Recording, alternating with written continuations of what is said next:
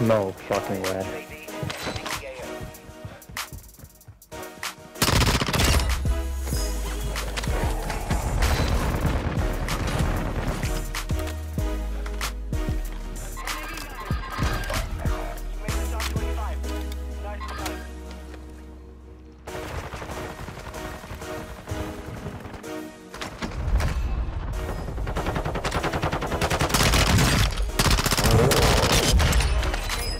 News.